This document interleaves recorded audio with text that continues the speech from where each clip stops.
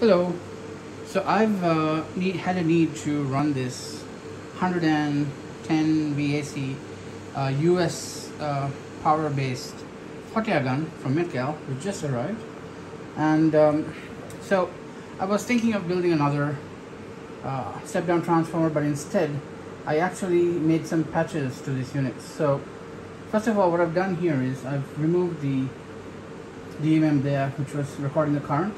So the two posts on the right have been removed. So the reason is that's in serial with the uh, switch, with the kill, kill switch.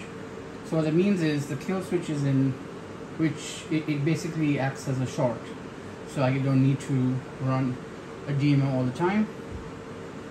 But what I'm going to show you first now here is, um, is that down? Yeah, it's down. So I'm going to basically power the Metcal. Okay.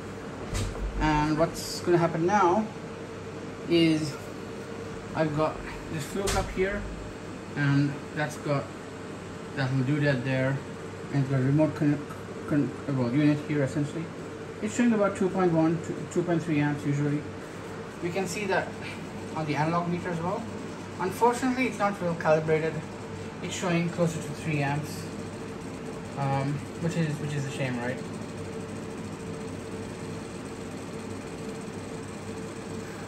now due to the load you can see it's showing 73 VC that's because this is, this is loading loading the line. Anyways here we have 220 odd degrees. I've got the thermocouple yanked and just bent into the end there right? And this is a decent temp. I don't want to push it too far because the max current on the on the variac which is that brown big thing there. It's rated for 2 amps um, output. And I don't want to exceed that. Um, and so the way I set this up is I first plug in a bulb a single bulb and tune the voltage to 110 VSC um, what I'm going to do now is I'm going to turn this off. And you'll see the Metcal what it does is it runs the pump. To keep things cool till the temp drops. And now of course the current draw is minimal. They're not showing much there but and the and the voltage jump back up. Simply because there is no load essentially and what I also did here was I finally wired the switch in. So it's zero is the center positive is off. Left is number one which is direct and two is going to be uh, through the bulbs so current limit essentially. But I've disconnected that because I've run out of Wago connectors. Of all things right? Running out of Wago connectors seriously. But as soon as the, the temp comes to around 70 80 degrees it, it auto shuts off. Um, but the most important fix I did on this the most critical fix is I fitted in what did I fit? Here we go, in white. I fitted in white. First, uh, a 2 amp breaker. And then I also fit in a fuse.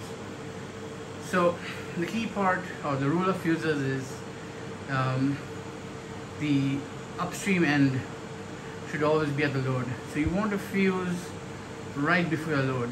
Now what this means here is I'm protecting the common winding of the variac. If I just relied on a fuse on the primary side of the isolation transformer, the current in the variac can easily spike 3 plus amps or even more during a, a short. And that means what's going to happen first, I will have a fuse at the mains, but the core winding on the variac um, on the common common side will short and burn. And you know could be worse than that. So you always need to have fuse on, on, on the final output side. And there you have it. So that's the most critical upgrade that's been done here. And now I will box this up and then I will hopefully have a better workstation um, you to get some hot air uh, soldering done. Thank. That's it. Cheers.